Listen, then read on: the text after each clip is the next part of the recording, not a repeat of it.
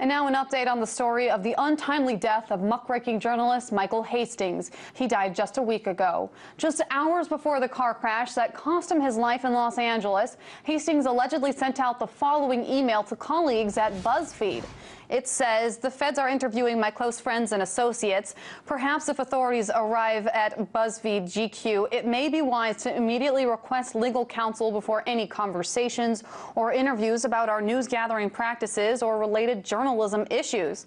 Also, I'm onto a big story and needs to go off the radar for a bit. All the best. Hope to see you soon. Michael. The email was leaked to KTLA by Staff Sergeant Joseph Biggs, who received the email and met Hastings while he was embedded in Afghanistan. While BuzzFeed has confirmed that Hastings thought the FBI might be looking into him, other recipients of that email have not confirmed its content.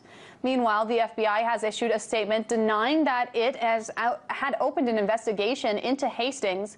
The Los Angeles Police Department has said that it found no evidence of foul play at the crash site either. Now, Hastings was best known for looking deeply into major structure powers, um, like the military and the government, and his refusal to fawn over powerful people. Perhaps his most well-known story was a profile of General Stanley McChrystal, who was the commander in Afghanistan before Hastings' Rolling Stone article called The Runaway General forced his resignation. Hastings came into the RT studios to discuss many of his media colleagues' responses to this story the Pentagon press corps.